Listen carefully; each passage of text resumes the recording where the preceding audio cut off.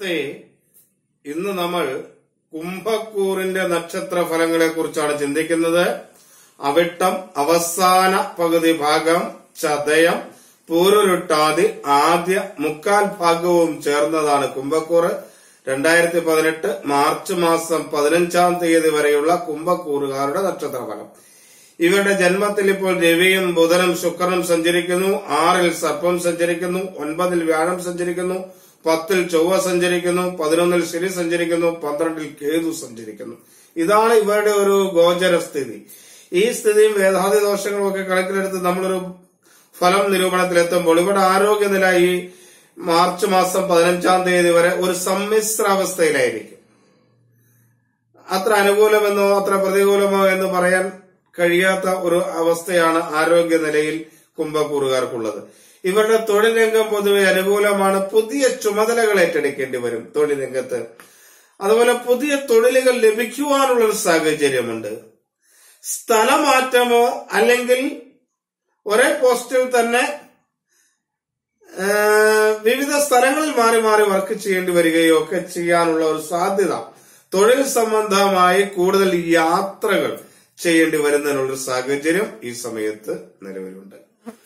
ഇവരുടെ ധനപരമായ കാര്യങ്ങൾ പൊതുവെ അനുകൂലമാണ്. പല പല മാർഗങ്ങളിലൂടെ ധനപരമായ വിഷമങ്ങൾ പരിഹരിക്കപ്പെടാനുള്ള സാഹചര്യം ഈ സമയത്തുണ്ട്. അതുകൊണ്ട് ധനപരമായ വലിയ പ്രയാസങ്ങളൊന്നും ഉണ്ടാവില്ല.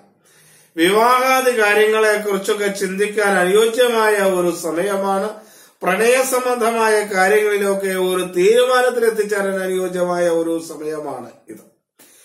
കുടുംബ ബന്ധത്തിലും വളരെ അനുകൂലമായ ഒരു സ്ഥിതിയാണുള്ളത്. കുടുംബത്തിൽ പുതിയ അംഗങ്ങളെ സ്വാഗതം ചെയ്യുന്നതിനുള്ള ഒരു സാഹചര്യം ഈ സമയത്ത് ഉണ്ടാകും. അതേപോലെ കുടുംബത്തിൽ ഐശ്വര്യം സമാധാനം മുതലായവയെല്ലാം ഉണ്ടാകുന്നതിനുള്ള ഒരു സാഹചര്യമുള്ള ഒരു സമയമാണ് ഈ മാർച്ച് പതിനഞ്ച് വരെ. മക്കളുമായി ചെറിയ കലഹങ്ങൾ ഉണ്ടാകാം എന്നൊഴികെ വലിയ കുഴപ്പമൊന്നുമില്ല. ബന്ധുക്കളുമായ ഒരു അനുകൂല സമീപനമാണ് ഈ സമയത്ത് ബന്ധുക്കളിൽ നിന്നും ലഭിക്കുക. സഹോദര സ്ഥാനത്തുള്ളവരും മാതാപിതാക്കളും അത്ര അനുകൂല ഒരു നിലപാടായിരിക്കില്ല ഈ നാളുകാരോട് സ്വീകരിക്കുക. അത് മനസ്സിൽ വച്ചുകൊണ്ട് ഇവരോടുള്ള പെരുമാറ്റം ഒരു ശ്രദ്ധയോടുകൂടി മുന്നോട്ട് കൊണ്ടുപോകാൻ ശ്രമിക്കുക. വിദ്യാർത്ഥികൾക്ക് വളരെ അനുകൂലമായ ഒരു സമയമാണ്. ഈ സമയം പുതിയ കോഴ്സുകൾ കണ്ടെത്തുന്നതിനും പുതിയ പഠന മേഖലകൾ തിരഞ്ഞെടുക്കുന്നതിനും പഠിക്കുന്ന മേഖലയിൽ തന്നെ കൂടുതൽ ശ്രദ്ധ കൊടുക്കുന്നതിനുമൊക്കെ ഈ സമയം കഴിയും.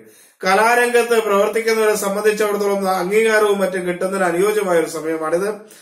ഭൂമി വീട് വാഹനം എന്നിവ വാങ്ങുന്നതിന് അനുയോജ്യമാണ്. ഈ മേഖലകളിൽ തൊഴിൽ ആയിട്ട് ചെയ്യുന്നവർക്കും ഈ സമയം അനുകൂലമാണ്.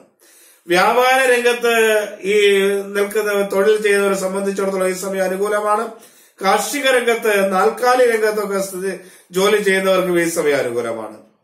പൊതുവെ കുംഭക്കൂറുകാർക്ക് അനുകൂലമായ ഒരു സമയമാണ് മാർച്ച് മാസം പതിനഞ്ചാം തീയതി വരെയുള്ളത്. എല്ലാവരെയും ഈശ്വരൻ അനുഗ്രഹിക്കട്ടെ എന്ന് പ്രാർത്ഥിക്കുന്നു. എല്ലാവർക്കും നമസ്തേ.